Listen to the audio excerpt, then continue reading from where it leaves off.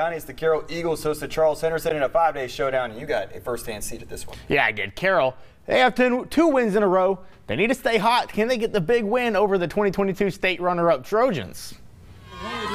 Charles Henderson leading 14 to 0 with just under five left in that, but Keyshawn Cole looking to put the team on his back. He does his best. Russell Wilson impression with the Houdini act shows another level of speed Wilson can only wish to have, breaking tackles, turning corners. He goes nearly 60 yards before finally being brought down by the Trojan defenders.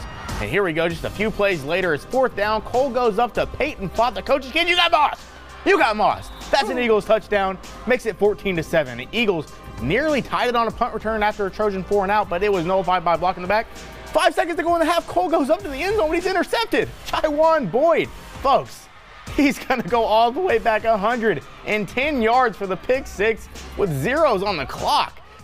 Trojans take a 21 7 lead in the halftime, but the Eagles put the clamps on in the second half. They come back and they win this one 34 to 24. That is a huge win Huge for Carroll, Michael. Carroll. Defending region champs go down in